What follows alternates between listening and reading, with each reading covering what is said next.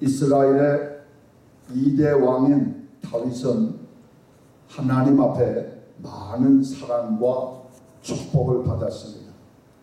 가장 이스라엘 나라가 반석에 세워지는 하나님의 왕으로 쓰임을 받았습니다. 사실상 다윗은 가정에서 버림받은 사람입니다.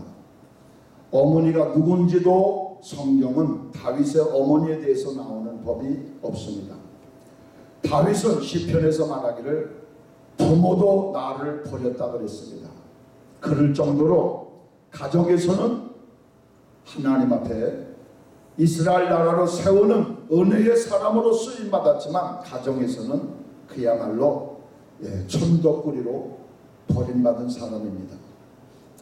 가정에서는 비록 버림받았고 형제들에게 부모들에게 버림받았지만 하나님 천지 만물을 다스리시고 천지 만물을 지으시고 천지 만물을 지금도 역사의 흐름을 주장하시는 그 하나님 마음에 성경은 사도행전 13장 21절에 보면 이세 아들 다윗을 만나니 내 마음에 합한 자라 그랬습니다. 이게 얼마나 위대한 다윗의 생애를 한 가지로 보여주는 예입니다. 오늘 본문에도 보니 만군의 여호와께서 다윗과 함께 하시니 다윗이 점점점 강성하여 가니라 이 말씀은 뭡니까? 바로 욥기에 나온 내 시작은 미약하였지만 내 나정은 심히 창대하리라 하는 말씀입니다. 우리가 저도 30년 전에 김포공항에 미국에 들어올 때 미국에 가면 어떤 세상이 펼쳐질까? 하나님 앞에 기도하면서 미국 땅을 밟았습니다. 미국 땅에 처음에 와가지고는 예, 정말로 기도하면서 기도하면서 기도하면서 여기까지 왔습니다. 제가 처음으로 미국 땅에 와서 일하고 그 주에 5불 50을 받았습니다. 시간당. 5불 50을 받고 152불을 받아서 11조를 그 당시에 약 한 17불을 11조를 냈습니다. 그게 제 미국 역사에 처음으로 시작한 예, 첫 열매입니다. 그런데 지금에 와가지고는 우리가 하나님 앞에 드리는 11조를 하나님이 얼마나 많이 축복해 주셨는지 과거를 뒤돌아보면 헤아릴 수가 없습니다. 이민 선상에서 같이 출발하였던 우리 많은 사람들, 저와 함께 출발하였던 많은 사람들이 있지만 지금도 그 사람들 가운데는 자녀가 교도소에 있는 가정이 두 가정이 있습니다. 무기징역, 둘 다 무기징역을 받았습니다.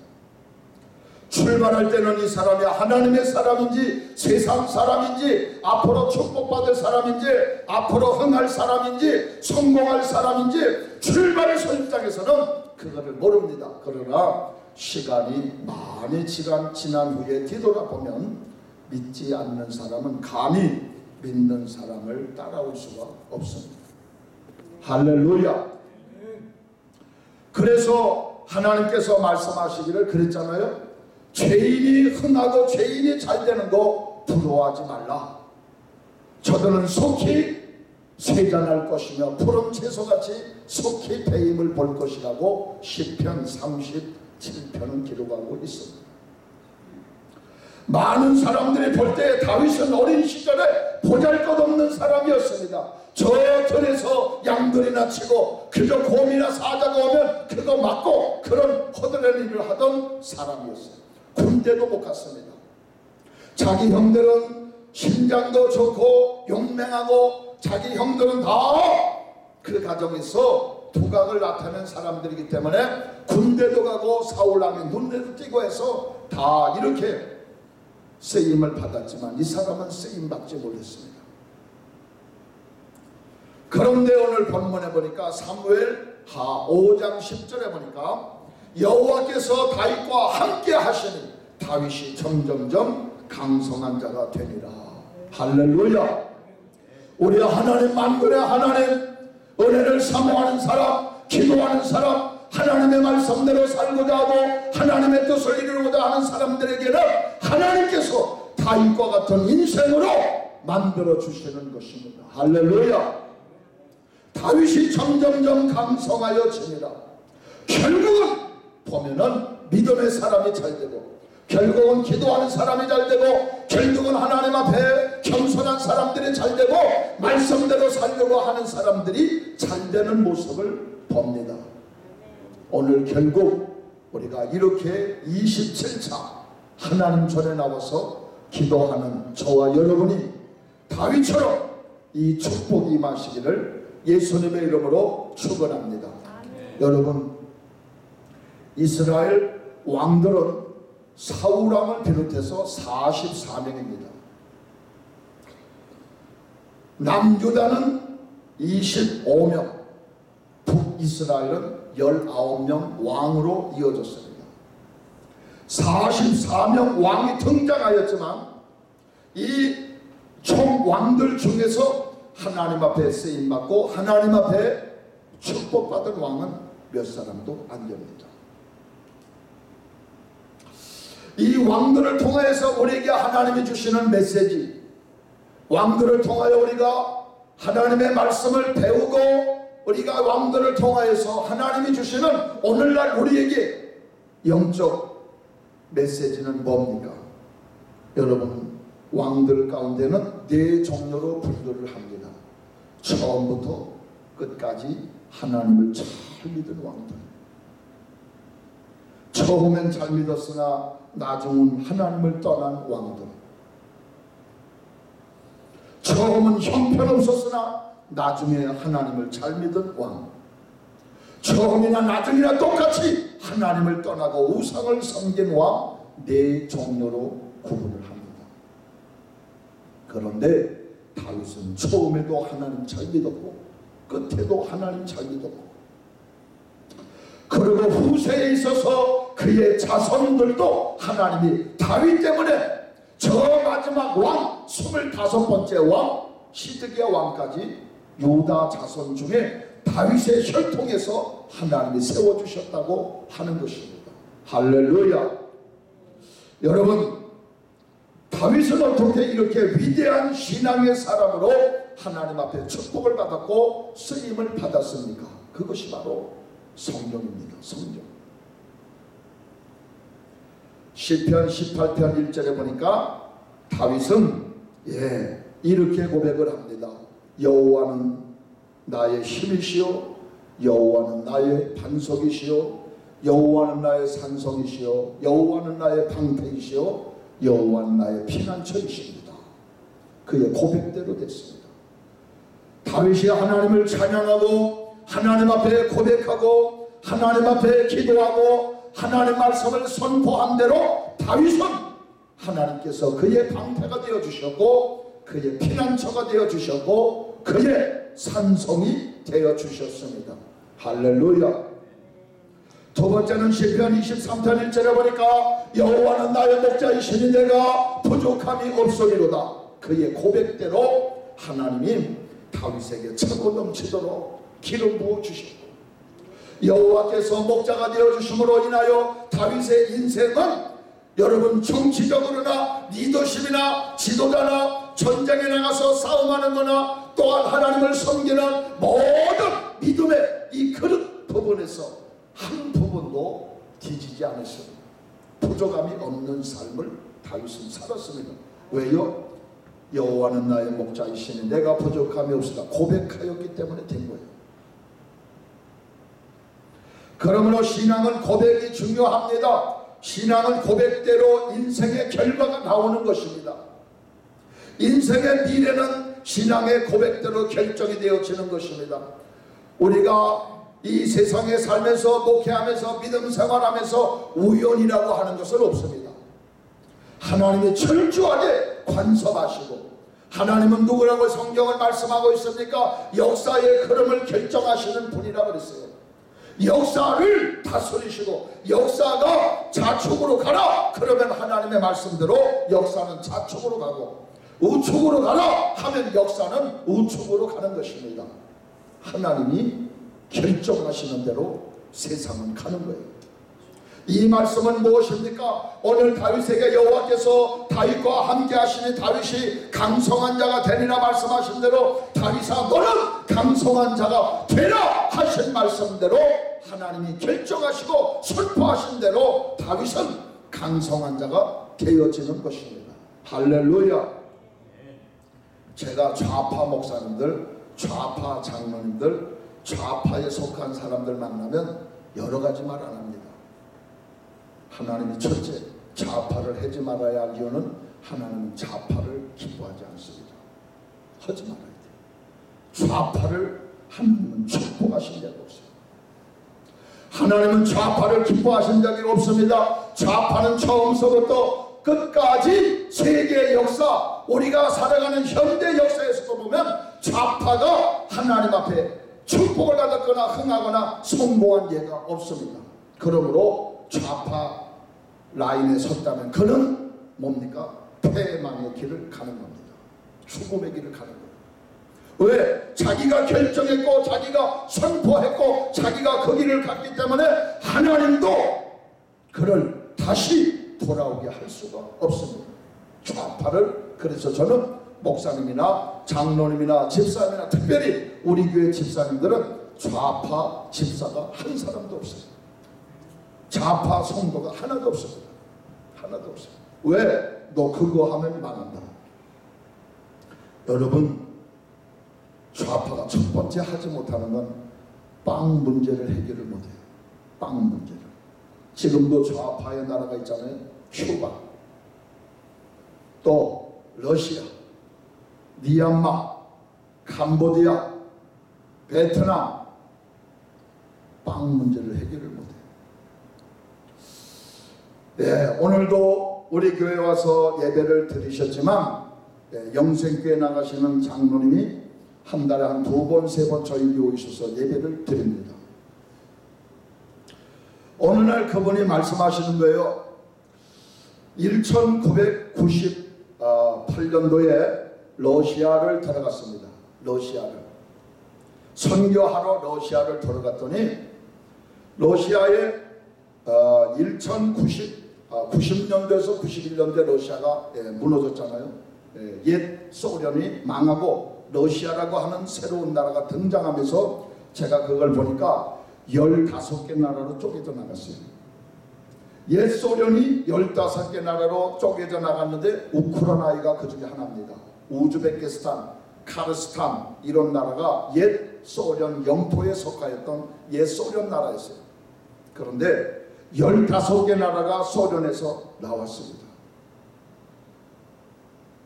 1998년도에 모스크바 이 한가운데를 가서 거기서 우리 선교사님들하고 자기가 간 함께 선교사 일행하고 예, 식당을 들어갔어요.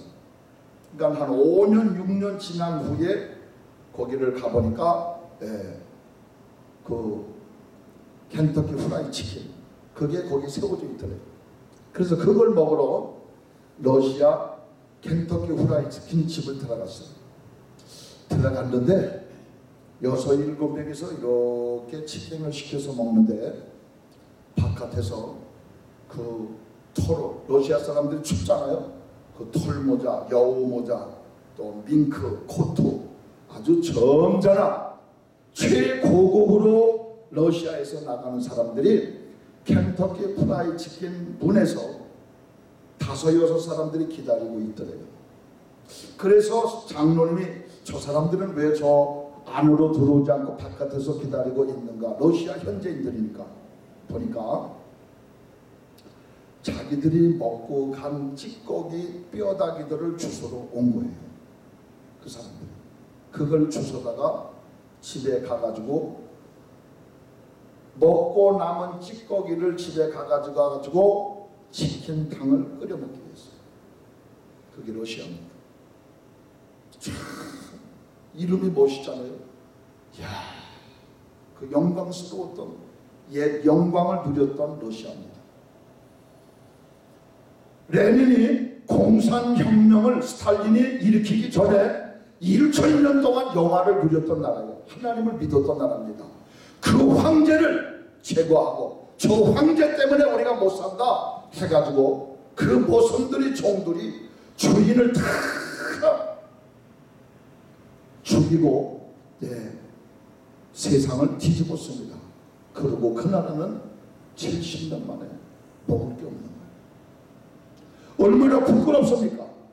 그것도 한국 사람이 먹다 남은 그 뼈다귀를 주워다가 집에 가가지고 뼈다귀 국물도 먹지 못하는 자기 자식들을 그걸 끓여 먹이려고 기다리고 있는 거예요. 그 쓰레기통에서 그걸 주워서 가지고 뼈다귀를 가져가는 거예요. 누가요? 그 여우토, 이 밍크 여우 모자, 밍크 코트 입은 그 점잖은 예, 신사 양반들이 안 됩니다. 빵 문제를 해결을 못해요. 빵 문제를. 빵 문제를 해결하는 나라가 없습니다. 아무리 잘 먹고 잘 살아도 그 일대는 잘 먹는다고 할지라도 나중에 어떻게 할 거예요? 죽음 문제 어떻게 해결할 겁니까? 여러분 중국의 시진핑이가 앞으로 100년, 200년, 300년 저 중국이라고 하는 나라 계속 자기가 지도해요? 그도 10년 남았습니다. 10년 후면 어쩔 수 없어요. 가는 세월 막지 못합니다. 신앙은 고백대로 되어지는 거예요. 하나님은 나야 하나님이 십니다. 하나님이 나의 목자이십니다. 하나님이 내 인생을 책임져 주십니다. 하나님이 나의 가는 길에 나의 행사를 여호와께 맡겨라. 그리하면 너의 경영하는 것이 이루리라 그랬잖아요. 할렐루야. 너는 하나님과 화목하고 평안하라. 그리하면 이 모든 복이 네게 임하리라. 네가 전병자에게로 돌아가고 네 장막에서 뿌리를 말려버리면 네가 다시 흥하리라. 흥하는 역사가 일어나는 것입니다. 하나님을 믿지 않으면 여러분 그날의 미래는 운명을 우리가 소망적으로 볼 수 없다는 것입니다.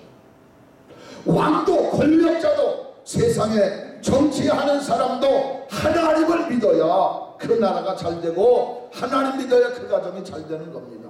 예수님이 그랬잖아요. 마태복음 13장에 보면 씨앗을 뿌렸는데 길가에 떨어졌습니다. 돌밭에 떨어졌습니다. 가시나무에 떨어졌습니다. 아무 소용이 없어요. 돌밭이나 길가나 가시떨기나 결국 하나님의 말씀대로 그들이 받아들이지 아니하고 그 말씀을 그들이 떨어져 나가겠다. 하나님 말씀을 들어야 돼요. 신명기 6장 4절에 보니까 이스라엘아 들으라. 우리 하나님 여호와는 오직 하나이신 여호와시니 너는 마음을 다하고 성품을 다하고 힘을 다하여 주 너의 하나님을 사랑하라. 오늘날 내가 네게 명하는 이 모든 말씀을 너는 마음판에 새기고 네 자녀에게 부지런히 가르쳐라. 일어날 때인지 누울 때인지 이 말씀을 강론할 것이며 이 말씀을 떨어지지 말게 하라는 것입니다 그러나 여러분 마태복음 13장에 보면 예수님이 말씀했습니다. 씨앗이 옥토에 떨어지면 30배, 60배, 100배의 열매를 맺는데 말씀을 듣고 듣고 해가는 사람이라 그랬어요. 이게 옥토입니다. 이게 옥토예요. 하나님을 떠난 왕들이나 하나님을 떠난 나라들이나 하나님을 떠난 사람들은 다 하나같이 실패했습니다. 성공한 왕이 하나님을 떠난 나라가 성공한 나라가 없습니다. 우리의 자녀들도 마찬가지입니다. 우리도 10년, 20년 후면 이 세상을 떠나 하나님 나라로 돌아가지만 우리의 자녀들을 남겨놓고 가야 합니다. 저는 참 내가 이 세상에 남겨질 때까지 내가 이 세상에 사는 날 동안 우리 자녀들이 축복을 받는 비결, 우리 자녀들이 잘 되는 비결, 우리 자녀들이 끝까지 예수 믿고 하나님 나라에서 소망을 갖고 만날 수 있는 게 뭔가라고 제가 생각을 해보니까 복음을 전하는 일이에요. 하나님이 가장 기뻐하는 일이 뭐냐? 복음 전하는 일입니다. 여러분 예배 드리는 거 하나님이 기뻐하십니다. 이거보다 더 기뻐하는 일이 어디 있어요? 안식일을 거룩하게 지키는 거, 하나님 앞에 믿음 생활하는 거, 감사 생활하고 순종하고 우리 성도들을 대접하고 하나님의 교회를 받드는 거 이게 최고의 인생으로 사는 길이에요. 거기서 우리가 다 한 발자국 더 발전해 나간다면 복음을 전하는 일입니다. 왜요? 한 생명은 천하보다도 귀하다고 그랬습니다. 천하를 얻었을지라도 자기 생명을 잃어버리면 천하를 잃어버 천하를 얻었을지라도 하나님을 잃어버리면 아 무슨 소용이 없다는 천하가 무슨 소용이 있어요?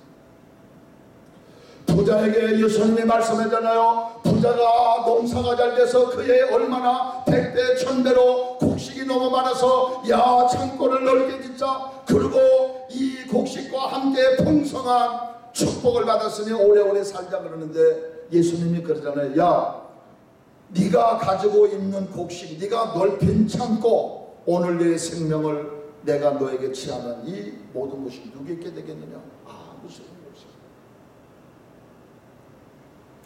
그러므로 하나님을 의지하는 사람, 하나님을 가까이 하는 사람, 다윗은 그것을 알았어요. 다윗은 그것을 깨달았습니다. 우리보다 예, 예수님 오시기 전 천년, 지금으로부터 삼천년 사람 아니에요. 다윗은 정말로 위대한 사람입니다. 이제 제가 말씀의 결론을 맺습니다. 여러분 2022년도 이제 2월 첫째 주입니다. 큰 비전을 가지시길 바랍니다. 큰 꿈을 가지시길 바랍니다. 그래야 큰 일을 할 수가 있어요. 목표와 비전이 있는 자가 큰 일을 하는 것이요 목표도 없고 비전도 없다면 그는 아무것도 바라볼 것이 없습니다. 인생은 힘 있고 열정이 있으려면 반드시 꿈과 비전이 있어야 하는 것입니다. 8월 달에 시작한 이 기도회가 지금 일곱 번째 달에 들어섰습니다. 8월 달, 2021년 8월 달에 이렇게 예배를 드리는데요. 우리 박두서 사범님이 뒤에서 이렇게 들어옵니다. 들어왔어요. 처음으로 들어왔어요. 하나님 앞에서 총기 드는 거 방대합시다. 이 법안 통과시킵시다 하면서 소명을 받았어요. 이 총기 때문에 1년에 필라델피아에서만 500명이 죽습니다. 이거 없어져야 합니다. 우리 교민들도 얼마나 많이 죽었어요. 많이 죽었어요. 그러시다가 시간이 나니까 하나님께서 발걸음을 이곳으로 인도했습니다. 근데 그때 제가 설교를 했어요. 제가 설교를 했어요. 저는 처음 봐요. 예. 우리 강 목사님이야 뭐 이 필라델피아 이장님이시니까 뭐 모르는 사람 없잖아요. 예. 저는 처음 봤어요. 박두소 사범님. 들어오시는데 예. 제가 박두소 사범님의 전후를 알았으면 감히 그렇게 못하죠. 그냥 곧바로 예, 이단역 차기로 돌아왔으면 전 여기서 맞아 죽을 뻔했어요. 전후 과거를 전 몰라요. 사범인지도 몰랐고 운동하신 분도 몰랐고 흑인들을 현장에서 다섯 여섯 명을 한순간에 때려눕히고 제압한 그런 분인 줄 몰랐어요. 그냥 저는 처음 봤기 때문에 일어나세요. 그리고 제가 하는 말에 그대로 따라 하세요. 하나님 나는 죄인입니다. 이 시간 내가 예수님을 영접합니다. 하나님 나에게 영생의 복을 주세요. 예, 근데 따라 하시더라. 크게. 그게 7개월째 오늘입니다. 그리고 우리 박두서 사범님이 한 번도 교회를 떠나지 않았어요. 우리 김종환 목사님의 만나면 늘 교회 나가라고 교회 나가라고 전도했어요. 교회 나가셔야 된다. 음. 그래서 지금도 오늘도 이렇게 오셨습니다. 예. 평신도 남자 대표로 박두서 사범님이 오셨고 여자 대표로는 헬렘 김 권사님이 오셨고 예. 할렐루야 예. 오늘 이렇게 많이 오셨어요. 너무나 너무나 감사합니다. 여러분 지난 2월 4일 날 여론조사에 의하면 예, 윤석열이가 41% 대통령이 되어야 된다고 그 사람에게 여론조사에서 퍼센트를 줬는데 41% 이재명이 32% 정권이 바뀌어야 된다. 이 정권 가지고는 나라가 안 된다. 정권이 바뀌어야 된다고 하는 사람들이 49% 현대로 그냥 유지해 나가야 된다. 32% 지금 하나님은 대한민국을 새롭게 만들고 있습니다. 할렐루야. 그동안 여러분 대한민국의 문재인 대통령 5년 하면서 가장 잘한 게 뭐냐? 가장 잘한 거 한 가지 있는데 연예인이나 체육하는 사람이나 예술인이나 목사님이나 모든 종교인들 중에 좌파를 분명하게 가려냈어요. 그거 하나 너무 잘했어요. 이 사람이 좌파인지 이 사람이 애국자인지 이 사람이 하나님의 사람인지 이 사람이 마귀의 사람인지 몰랐어요.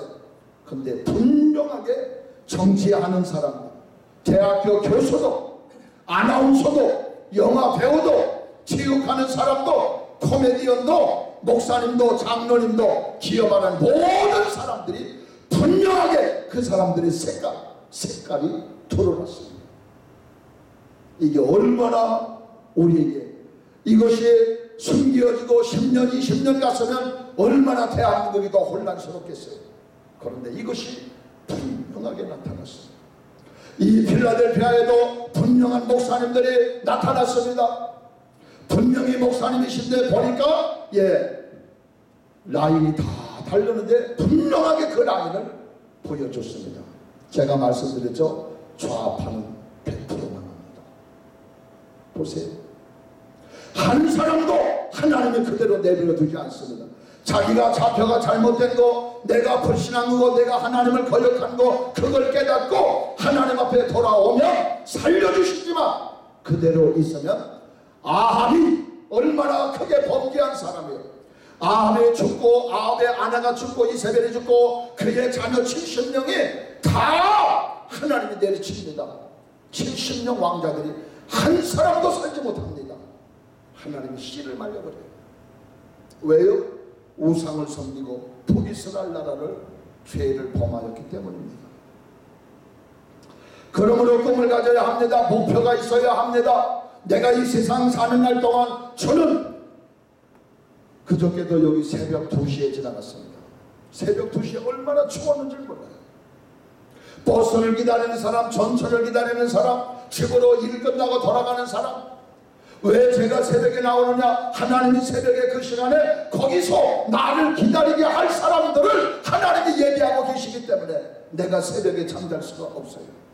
하나님이 준비하셔서 야 김 목사야 네가 나와야 이 사람 구원받고 이 사람 예수 영접하는데 내가 준비시켜놨는데 네가 춥다고 안 나와? 네가 피곤하다고 안 나와? 말이 안 되잖아요. 내가 나올 수밖에 없는 이유 가면은 하나님이 그 사람을 그 시간에 거기에 제가 이렇게 지나가는데 그저께는 야야야 그러더라고요. 야야야 너 그거 뭐냐 그러더라고. 뭐긴 이 사람아 전도지지. 빌리빈 지저스 예, 너 예수 믿느냐 하면서 5분이면 예, 하나님의 사람으로 바뀌어집니다. 디얼로조스 내가 죄인입니다. 내가 이 시간에 나의 구원자 예수님을 영접합니다. 나의 죄악을 다 용서해 주세요.